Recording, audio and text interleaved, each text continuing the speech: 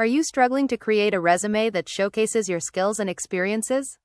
No worries, you are not alone.